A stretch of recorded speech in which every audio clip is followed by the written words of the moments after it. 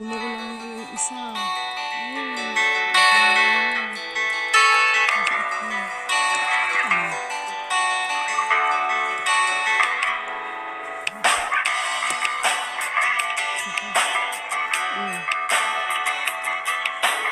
Ito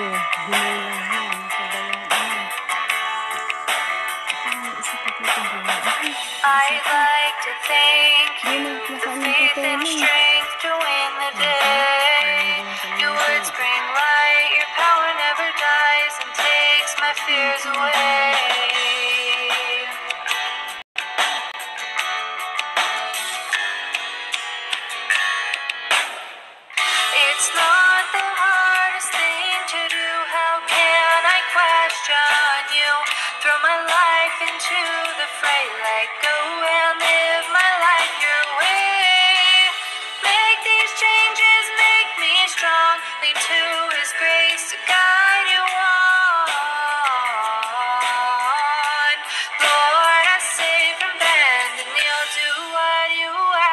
love me.